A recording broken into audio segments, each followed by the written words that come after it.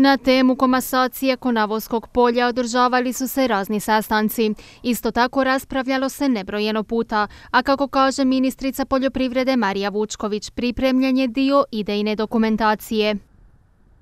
Vi znate da smo slijedom i takvih pojedinačnih inicijativa uspjeli uspješno kandidirati ovu mjeru kao reformsku u okviru nacionalnog programa za otpornost i oporavak, te smo osigurali značajna sredstva. Ministarstvo poljoprivrede je promijenilo zakon kako bi obrzalo procedure, donijelo prateće pravilnike, vlada Republike Hrvatske je osvojila program, sve ono što je trebalo napraviti kako bismo objavili javni poziv koji je prije par mjeseci objavljen, pa će se sigurno i općina Konavle javiti.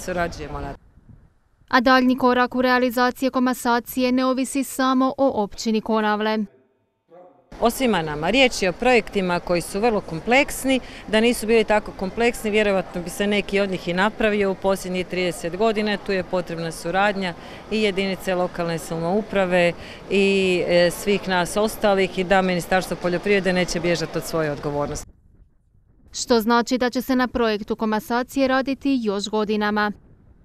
Naša ta reformska mjera treba biti izvedena do ožujka 2026. godine. To, mislim da vam taj zadnji rok je zadnji rok koji govori kad projekti trebaju biti završeni, načelno sve govori.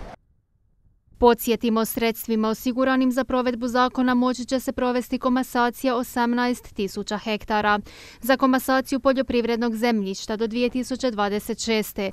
osigurano je 313 milijuna kuna, iz mehanizma za oporavak i otpornost EU 263 milijuna, a iz nacionalnih sredstava 50 milijuna kuna.